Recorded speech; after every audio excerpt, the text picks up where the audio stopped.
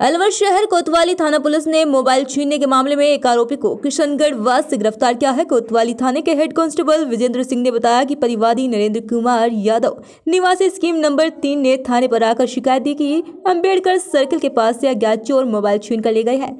इस पर पुलिस ने चोरी का मामला दर्ज कर अज्ञात चोरों की तलाश शुरू कर दी है, जिस पर पुलिस ने आरोपी प्रिंस को किशनगढ़ बस से गिरफ़्तार किया है। जिसको आज न्यायालय में पेश किया जाएगा, वहीं आरोपी से अभी पूछताछ की जा रही है। उसने मोबाइल छीनने की घटना घट उसने मोबाइल छीनने की कितनी घटनाओं को अंजाम दिया ये पता लगाने की कोशिश की जा रही है। आरोपी का क्या नाम है? आरोपी का नाम है प्रिंस नव राजेश कुमार प्रजापत।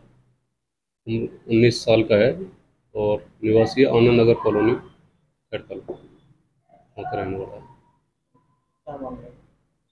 ये क्या है कि दिनांक उनतीस पाँच तेईस को नरेंद्र यादव सन महेंद्र यादव। निवासी स्कूल नंबर तीन, इसने मुकदम दर्ज कराया था। अंबेडकर चौराहे के पास मंदिर है, वहाँ इसके मोबाइल को छीन कर ले गए।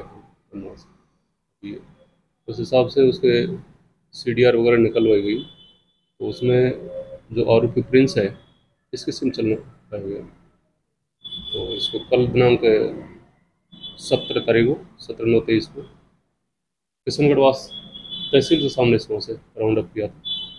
तो ला कर उससे पूछताछ की तो इसने खरीदने बताया है ये कोई ढाबा है बीरुदा ढाबा कैलको चौराहे पे? वहाँ कोई पार्टनरशिप में चलाता है किसी नई इनकम के साथ में। तो वहाँ को खाना खाने आए थे उन लड़कों से उसने खरीद रखा है आज न्यायालय पेश किया जाएगा। आज यह लड़के से